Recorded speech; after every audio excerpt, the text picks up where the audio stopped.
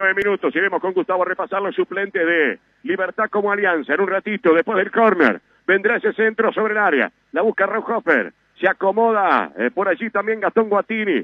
Se va Rauhofer desde el segundo palo, el primero, el centro, entró Rauhofer, tapó el portero, está ¡Gol!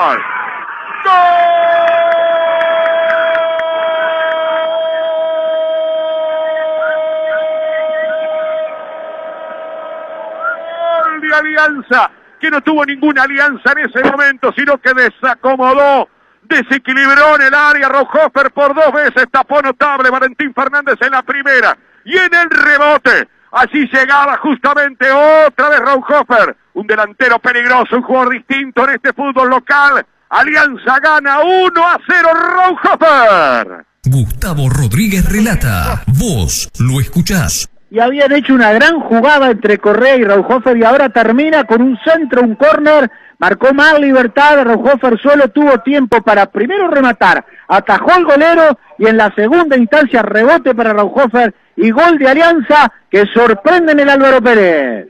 Simplemente somos Radio San Carlos.